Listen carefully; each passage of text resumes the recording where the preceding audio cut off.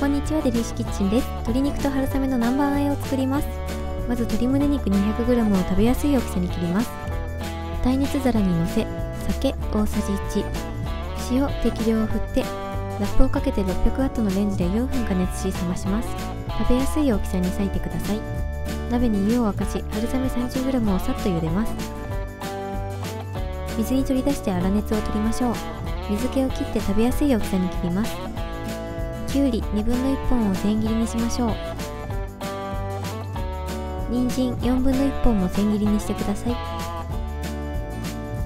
オールニス大さじ2醤油大さじ2砂糖小さじ1ごま油小さじ2輪切りの唐辛子適量を入れ混ぜ合わせます。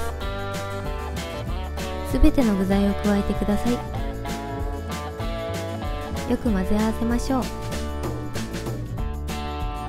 冷蔵庫で30分味をなじませて完成です。以上デリッシュキッチンでした。